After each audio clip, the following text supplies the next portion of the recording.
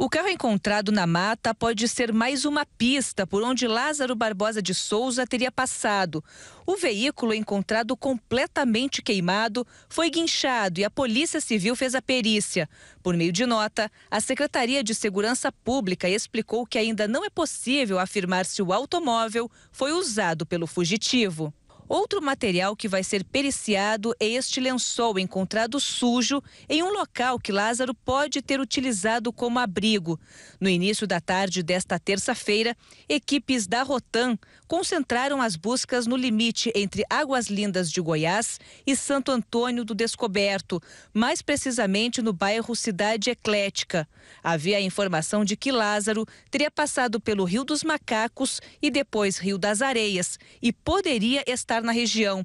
A área não faz parte do perímetro delimitado pela Secretaria de Segurança Pública do Estado de Goiás e a pasta não confirma essa informação.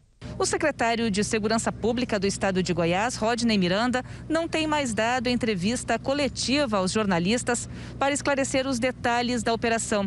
Por meio de nota, a assessoria de imprensa diz que o trabalho continua.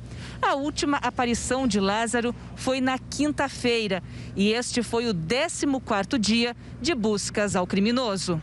O ministro da Justiça, Anderson Torres, falou sobre as buscas a Lázaro aqui na região de Cocalzinho.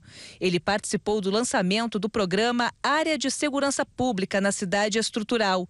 Disse que a Força Nacional, que chegou a ser cogitada na operação, estaria disponível. Nós estamos à disposição do governo do Distrito Federal e do governo do Estado de Goiás. Eles estão à frente dos trabalhos, é difícil para a gente se envolver. A Polícia Federal já está dando apoio, a Polícia Rodoviária Federal também. E como eu disse, nós estamos à disposição.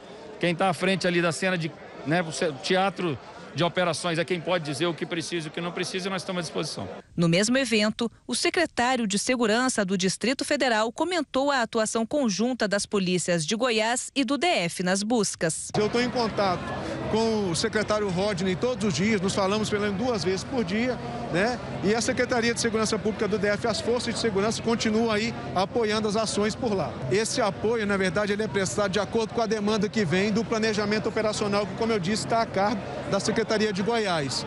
E as forças de segurança estão à disposição para a gente possa continuar apoiando. Hoje nós atuamos lá com equipes especializadas. Então temos homens do, do BOP, temos homens da, do, da DOE, os nossos cães também do BP Cães e dois helicópteros, um da Polícia Militar e outro da Polícia Civil atuando na área.